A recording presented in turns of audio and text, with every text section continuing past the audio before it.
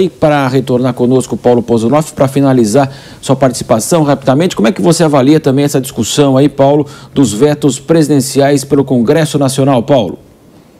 É, Marcelo, acho que é bom a população né, ficar sempre atenta a isso, até para entender como funciona o Estado, né? O legislativo ele, ele elabora as leis, cabe ao executivo uh, avaliar se isso se é executável uh, ou não, e daí o presidente cabe ao presidente vetar ou não essas leis, como essa aí que garante distribuição de absorvente, né, que é um absurdo num país como o Brasil, está discutindo esse tipo de coisa, e volta para o legislativo que pode ou não derrubar o veto. Que tem essa impressão, né, Marcelo, de que o presidente no Brasil toma todas as decisões sobre absolutamente tudo, e não é bem assim uh, que funciona. Agora, sobre essa lei aí de distribuição de absorvente, eu só queria pontuar uma coisa, que a justificativa do veto presidencial foi que não havia é, é, especificação de onde sairia esse dinheiro, mas não é uma verdade, porque há sim especificação, esse dinheiro para distribuição de absorventes sairia da saúde. Então, a gente acabou de falar ali